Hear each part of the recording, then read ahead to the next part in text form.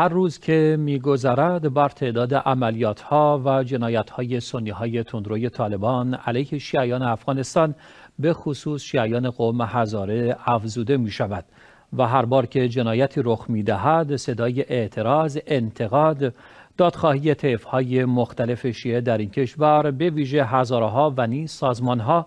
و نهادهای بین المللی علیه طالبان افزایش می یابد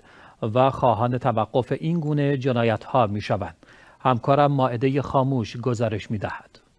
یک جریان سیاسی منصوب به حرکت ملی صلح و عدالت در نامی سرگشاده به مشاور ویژگی سازمان ملل در امور پیشگیری از نسل‌کشی خواستار اقدام برای پیشگیری از نسل‌کشی هزاره در افغانستان شده است این جریان در این نامه گفته که نگران کننده ترین تحولی که چشم انداز صلح و بقای افغانستان را به عنوان یک ملت تهدید می کند افزایش خشونت های هدفمند علیه جامعه هزاره به دلیل هویت قومی و اعتقادات مذهبی آنان است. حرکت ملی صلح و عدالت گفته که بیش از 300 اقدام خشونت آمیز علیه مردم هزاره در سراسر کشور به ویژه در غرب کابل و در امتداد شاهراهها توسط سازمانها و فعالان حقوق بشری در سالهای اخیر مستند شده است در جدیدترین حمله انتحاری به مرکز آموزشی کاج در غرب کابل در 3 سپتامبر 2022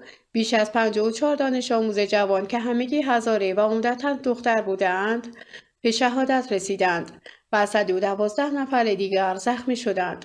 حرکت ملی صلح و عدالت گفته که طالبان نه تنها نتوانستند از هزاره ها در برابر چنین خشونت های سیستماتیک محافظت کنند بلکه با سیاست ها و اقدامات تبعیض‌آمیز مردم هزاره را از حقوق اساسی سیاسی و مذهبیشان محروم کردند. این حرکت طالبان را متهم به دستگیری های خودسرانه، اعدام و اخراج اجباری که هزاره ها از سرزمین ها و خانه های اجدادیشان کرده است.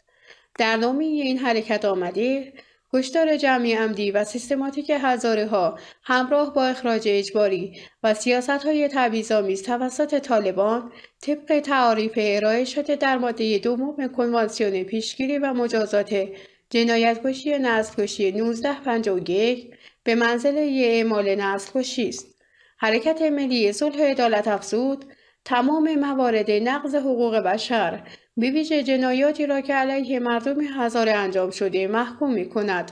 و طبق ماده 8 کنوانسیون نسل‌کشی از آژانس های زی صلاح ملل متحد می خواهد بر اساس مشهور ملل متحد اقدامات لازم و مناسب را انجام دهند تا از اقدامات نسل‌کشی علیه هزاره ها جلوگیری و عاملان آن شناسایی و محکوم شوند.